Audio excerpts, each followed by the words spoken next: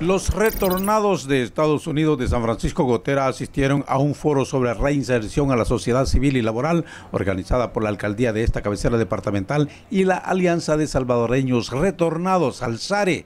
Estamos apoyando un grupo de 55 personas retornadas, de los cuales pues hemos eh, iniciado ya todo un proceso eh, que se trata pues básicamente de fortalecimiento de capacidades. Para promover la participación de la persona migrante retornada en los programas y políticas de desarrollo local que se implementen en sus municipios para procurar su reinserción socioeconómica es el objetivo del foro, dijeron sus representantes. La asociación básicamente lo que hacemos es organizarlos en sus territorios de origen para desde allí poder crear programas de desarrollo social y comunitario.